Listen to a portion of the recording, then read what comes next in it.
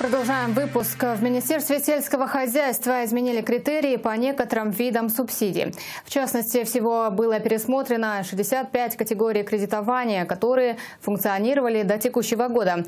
Об этом сегодня на брифинге сообщил первый вице-министр сельского хозяйства Кайрат Айтуганов. По его словам, новшество проводится в рамках госпрограммы развития АПК. Он также отметил, что данные преобразования позволили сэкономить порядка 25 миллиардов бюджетных тенге. При этом измененные критерии предоставили возможность увеличить субсидии в таких отраслях, как животноводство, растениеводство, овцеводство и производство молочной продукции.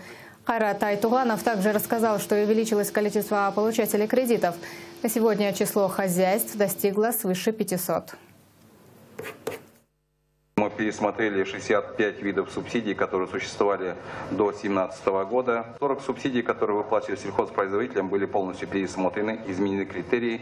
И 14 э, э, субсидий, которые существовали до 2017 года, они оставлены в том же виде. Измененные критерии э, повышают производство сельхозпродукции в целом на 29%.